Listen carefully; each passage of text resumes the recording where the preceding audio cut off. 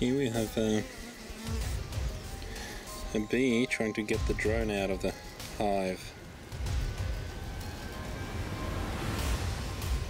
See how she's biting him? Basically telling him where to go. It is winter here. And she will chew off typically the wings or the legs or something along those lines and will not let him go until he leaves the hive. So there you go.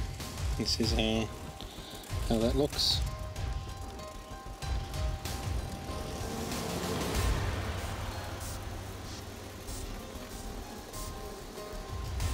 She just keeps chewing away on those wings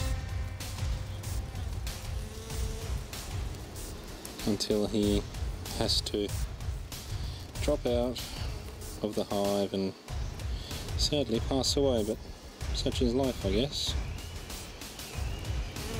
It's just the way it is. Thought you'd find this interesting. There you go and he's gone she will now return happily back to her entry